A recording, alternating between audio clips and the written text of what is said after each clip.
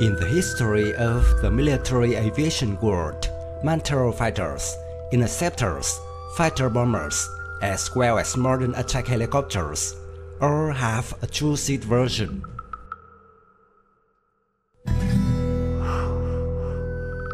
Why is a second crew member required? This question certainly has gained a large number of answers. For a more comprehensive view of this issue, let's go back to World War II, the era of thriving military aircraft. During the early years of the Great Patriotic War, Soviet single-seat air-to-ground attack aircraft were vulnerable to enemy aircraft.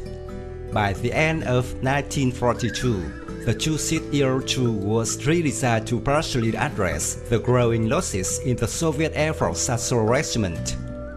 The rear hemisphere is protected by gunner armed with a UBT machine gun. The Nazi Luftwaffe began to find it more difficult to deal with Soviet ground attack aircraft.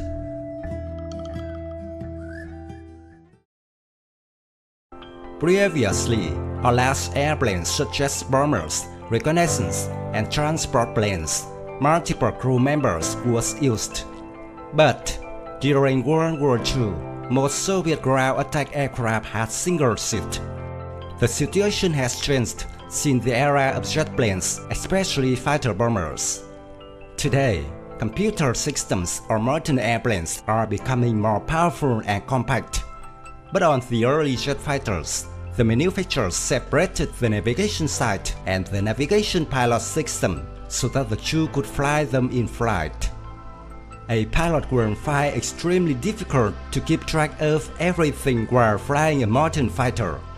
Conversely, if there were two people in the cockpit, the combat machine's capabilities could be able to maximized.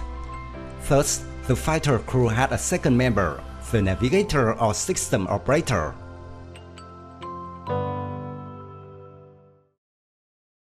The two-seat fighters are used more than the single seat in terms of combat and navigation duties.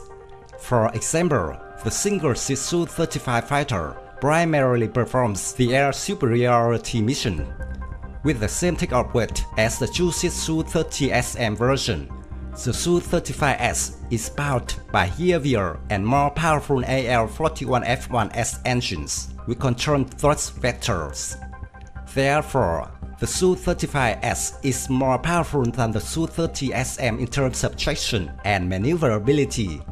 The lack of co-pilot equipment also positively affects the flight characteristics of the Su-35S. For its part, the two-seat Su-30SM has additional equipment controlled by the co-pilot, so it can coordinate action with a group of combat aircraft, perform reconnaissance missions, electronic warfare, point target, strike ground targets, etc.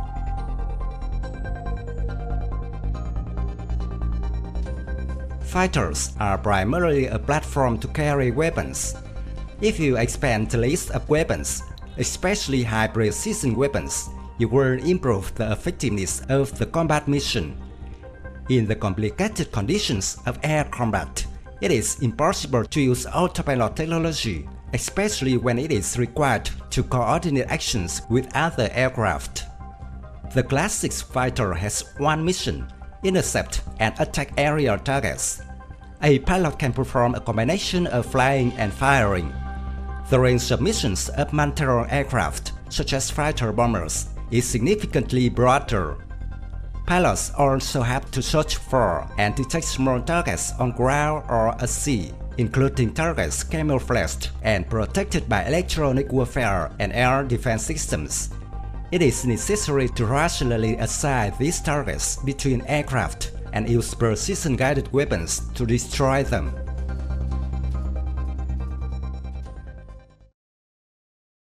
There are also missions such as electronic warfare, transmitting real-time data flow to missile systems on the ground. To perform this task requires a second member, the system operator cum navigator. In this role, he will be the main character. During these missions, the pilot's mastery skill was not the most important. A top priority is the ability to quick assess the tactical situation based on a variety of data. He must reasonably allocate the aircraft's combat resources, control and evaluate the results of the strike. It can be said that in the role of analyst, the operator plays a key role.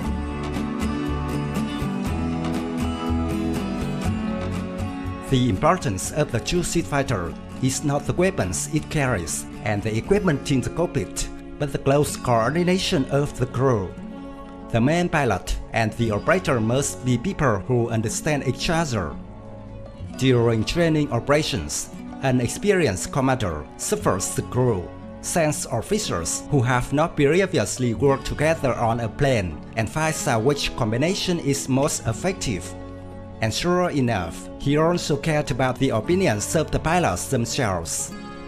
Today, most modern fighters have more virtual pilots, an electronic computer system to assist pilots and ensure flight safety.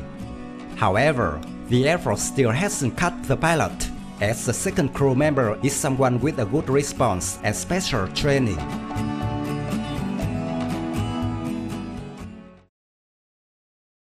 According to military experts, it is no coincidence that the Russian Defense Ministry chose the MiG-31 Interceptor to carry new Kinzhal supersonic missile.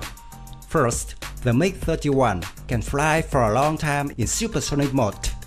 Second, the MiG-31 can launch missiles at long range. And third, it has two-seat airplane. The pilots easily divide tasks when operating such sophisticated weapons. MiG-31s typically operate at large range. The navigator can correct the pilot's minor errors in navigating and even control the aircraft, giving him time to rest.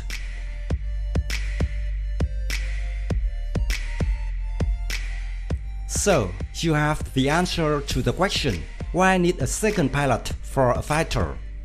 Simply, the workload of engaging aircraft ground targets and managing all of the other systems is often too much for a single person in fourth and early generation aircraft.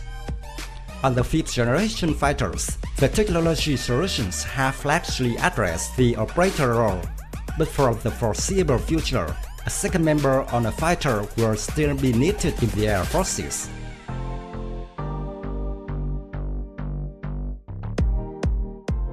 My video for the question why need a second pilot on a fighter jet ends here. Thank you for watching. If you find this video interesting, please give me your thumbs up. Don't forget to subscribe to support the channel. Goodbye and see you again.